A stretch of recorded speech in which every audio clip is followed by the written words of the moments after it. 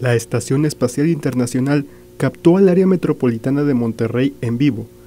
y el resultado fue compartido este sábado. La trayectoria de la estación, con una vista nocturna de la ciudad, también contiene imágenes de urbes vecinas como Saltillo,